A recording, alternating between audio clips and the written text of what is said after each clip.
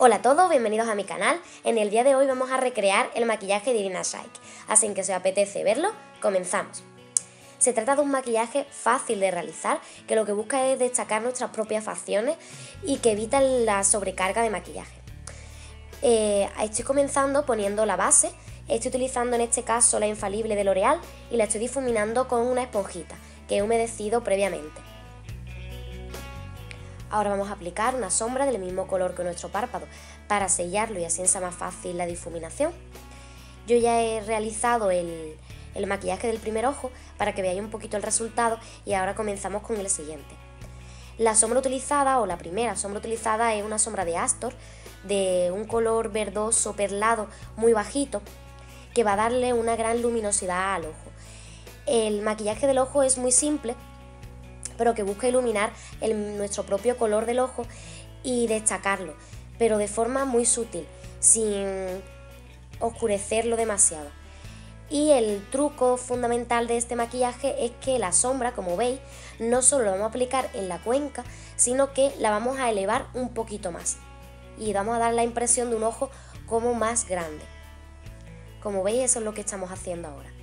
Quiero destacar también una idea de que con este maquillaje no nos vamos a parecer a Irina Shayk, sino lo único que estamos haciendo es recreando su, su maquillaje. Ahora vamos a aplicar una sombra en color gris, gris claro, perlado también, encima de la primera sombra, para oscurecerla un poquito más, pero seguir con ese brillo que ya es el que queremos mantener.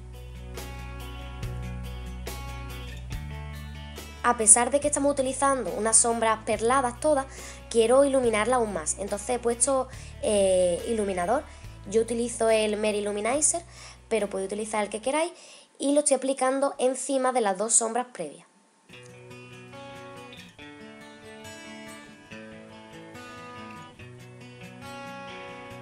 Ahora utilizaremos un pincel para difuminar los tres colores para que así se mezclen y sea un único color y que no haya ningún tipo de corte entre los tres.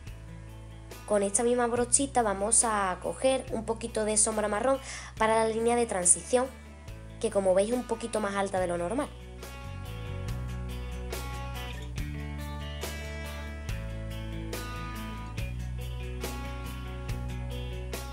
Ahora utilizaremos un lápiz de Benefit en color nude para perfilar y marcar el arco de la, ceja, que creo que es fundamental. Es un toque más de, de luz a nuestro rostro. Y lo vamos a difuminar con la brochita.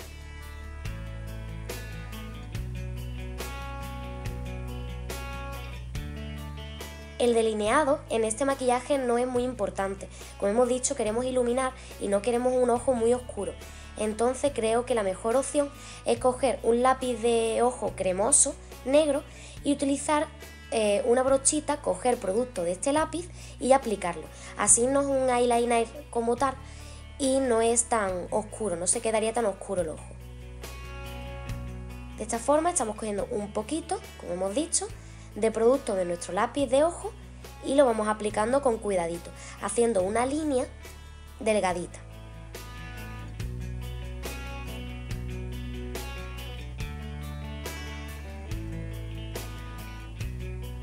Pintaremos la línea de agua del mismo color negro y vamos a difuminar un poco la línea inferior con un color marrón cobrizo.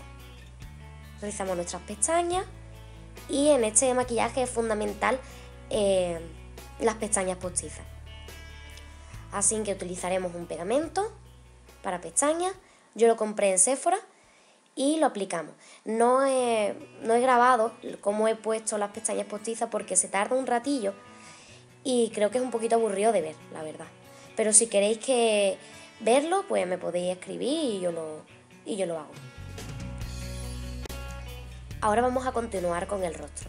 Estoy aplicando el corrector, este es mi corrector favorito, el de Maybelline, y lo estoy aplicando en estas zonas que son las zonas que quiero iluminar y corregir. Y todo eso lo vamos a eh, difuminar con una esponjita que he humedecido y estoy quitando un poquito, siempre quito un poquito el exceso de, agua y ahora empiezo a difuminar.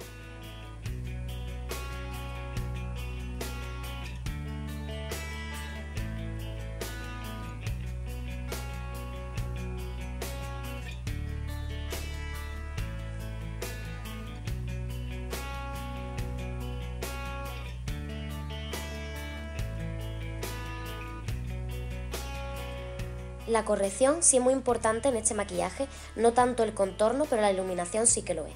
Ahora vamos a sellarlo todo con unos polvos translúcidos y voy a realizar ese efecto horneado que ya os he hablado en, el vídeo previo. Y vamos a hacerlo un poquito también aquí.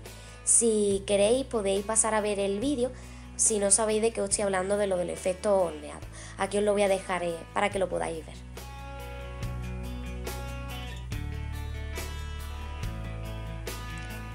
Pasamos al contorno. El contorno en este maquillaje no es muy importante. Lo vamos a aplicar solo en la nariz y un poquito en la zona del pómulo, pero muy poquito.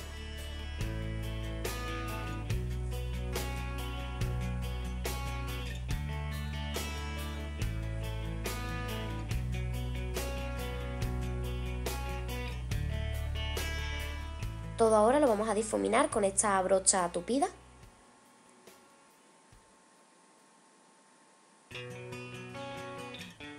Y el producto fundamental que creo que le viene genial a este maquillaje es este bronceador, colorete, iluminador de NYX que la verdad que me encanta y lo he estado utilizando todo el verano. Lo vamos a aplicar en la zona del contorno y lo vamos a elevar un poquito, zona de contorno colorete y también en la, en la frente y en la nariz también lo vamos a aplicar un poquito. Creo que le viene muy bien, es un color muy similar al que utiliza la modelo. Ahora estamos retirando el exceso de polvo suelto que pusimos al principio y lo estamos retirando con esta brochita suelta. Vamos a aplicar ahora el colorete y va a ser en un tono coral con un poquito de brillito que le va a venir genial a este maquillaje.